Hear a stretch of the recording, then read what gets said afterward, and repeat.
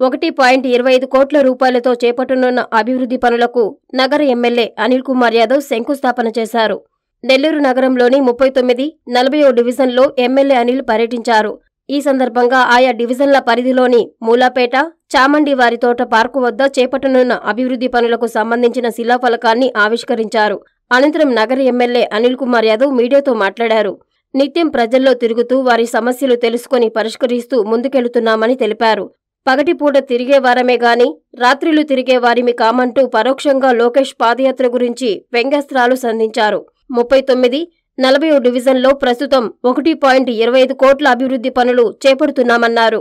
గతంలో ఈ ప్రాంతంలో ఎనభై ఐదు లక్షల రూపాయలతో పార్కును నిర్మించామని చెప్పారు. ఇంకా ఆయా డివిజన్ల పరిధిలో పదిహేను కోట్ల రూపాయల పనులకు శంకుస్థాపనలు త్వరలో చేయనున్నట్లు చెప్పారు. తానంటికి సిద్ధంగా ఉన్న ఎమ్మెల్యే అనిల్ ఎవరి హయాంలో ఎవరెంత ఖర్చు పెట్టారనే విషయమై శ్వేతపత్రానికి సిద్ధంగా ఉన్నట్లు సవాల్ విసిరారు.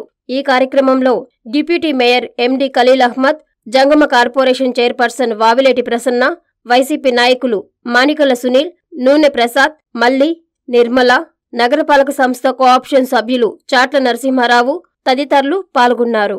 ముప్పై తొమ్మిది నలభై డివిజన్కి సంబంధించి గడప గడపకి తిరిగినప్పుడు కావచ్చు స్థానికంగా ఉన్న సమస్యలు ఆ ప్రాంతంలో ఉన్న ప్రజలు ఏదైతే కొన్ని సమస్యలు అడిగారో దానికి సంబంధించి రెండో డివిజన్లో కోటి ఇరవై ఐదు లక్షల రూపాయలతో పనులు ప్రారంభించడం జరిగింది. ఈ రోజు ముఖ్యంగా చమటివారి తోట రోడ్డు అంటే మొత్తం కూడా శంకుస్థాపన అంతా ఇక్కడే పెట్టాం.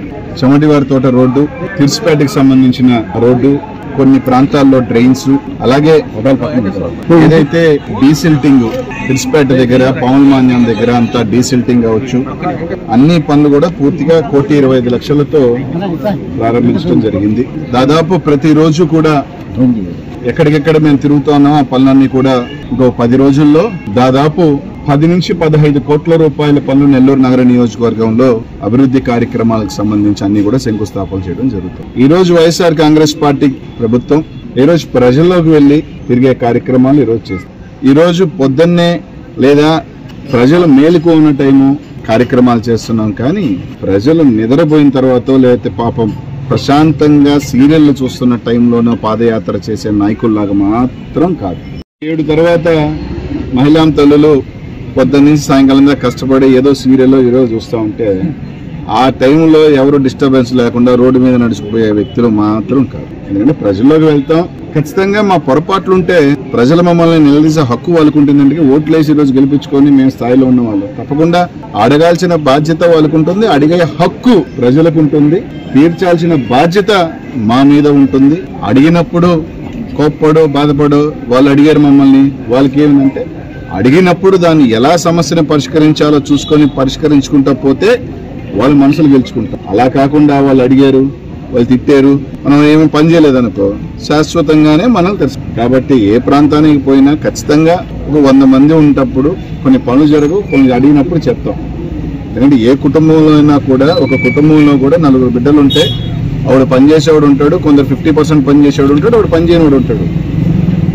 అందుకని పని చేసే పని తిడతా ఉంటే ఆడి మీద ప్రేమ లేదని కాదు మారాలని మార్పు కోరుకొనే తిడతారు ఎవరైనా. అట్లా మనం కూడా వెళ్ళినప్పుడు అయ్యా మాకు ఇక్కడ కాలువ లేదో మాకు రోడ్డు లేదో లేకపోతే ఇన్ని రోజులు రాలేదో ఏదో కారణాల వల్ల ఖచ్చితంగా వాళ్ళు అడుగుతారు. అడిగినప్పుడు మనం దాన్ని పని చేసి చేయించాల్సిన బాధ్యత మా మీద ఉంది గెలిచిన కార్పొరేటర్ల మీద ఉంది. అందులో భాగంగానే ఈరోజు వాలంటీర్లు కానీ అందరూ కూడా ప్రజల దగ్గరికి వెళ్తా ఉన్నారు మా నాయకులు వెళ్తూ ఉన్నారు చేసే కార్యక్రమం ముందుకు వెళ్తాం ఏదైతే ముప్పై తొమ్మిది నలభై డివిజన్లో పెండింగ్ ఉన్న పనులు అన్నీ కూడా రానున్న రెండు నెలల్లో సంపూర్ణంగా ఫినిష్ చేస్తాం. పని కూడా బ్యాలెన్స్ లేకుండా చేసే కార్యక్రమం తప్పకుండా పూర్తి చేసే కార్యక్రమంలో భాగంగా ఇప్పటికే గతంలో పిలిచినవి కాకుండా ఇప్పుడు కోటి ఇరవై ఐదు లక్షలు అవసరమైతే ఇంకొంచెం ఎక్కువైనా సరే ముప్పై తొమ్మిది నలభైలో ఏ పనులు కూడా బ్యాలెన్స్ లేకుండా చేసే కార్యక్రమం చేస్తామని చెప్పి తెలియజేసుకుంటా ఉన్నాం. ఇప్పటికే ఇక్కడ ఎనభై ఐదు లక్షలతో ఒక పార్కుని గతంలో కూడా నిర్మించాం. సో అన్ని కార్యక్రమాలు రేపటి నుంచి రేపు ఇంకా కొన్ని శంకుస్థాపనలు ఉన్నాయి. ఈ పది రోజుల్లో రానున్న రోజుల్లో పదహైదు కోట్ల రూపాయలతో శంకుస్థాపనలు ఉన్నాయి.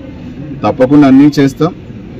కొంతమంది నెల్లూరు నగరానికి ఏం చేశారు శ్వేతపత్రానికి అన్నారు. తప్పకుండా అన్నిటికీ సిద్ధమే నేను.